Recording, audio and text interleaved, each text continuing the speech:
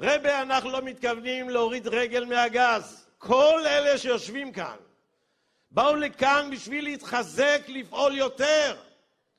אבל מה זה נוגע? אנחנו נפעל מחר, אנחנו עושים את הגאולה עכשיו.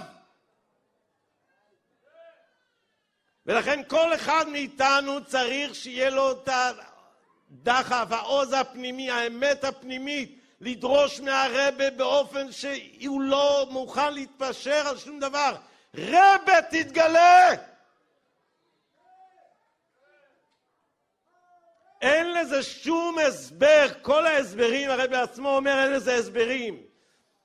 יש איזה ויכוח ישן עם הרב רוטנשטיין שאומר שהרב התגלה ואני אומר לו בכל אופן אנחנו צועקים רב תתגלה, אומר מה אתה צועק רב תתגלה, רב תתגלה אני אומר לו אין שום בעיה אם אתה חושד בי שאני מתכוון לומר רב תתגלה ואני יושב רגל על רגל חבל לך על הזמן לא מתכוון לזה, לא, לא מתכוון להוריד רגל מהגז להפך אבל יחד עם זה מי יכול לעמוד מול אותה בחורה שדמי אחיך זועקים מן האדמה שנדקרה ונשחטה שם באוטובוס, בתחנה?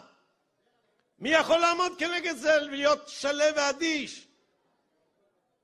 ולכן אנחנו צריכים באותו האומץ, באותו התוקף שאנחנו תובעים מעצמנו, שלא להרפות רגע מלזעוק ולפעול בענייני גאולה ומשיח, אנחנו זועקים לרבה שליט המלך המשיח, רבה תתגלה!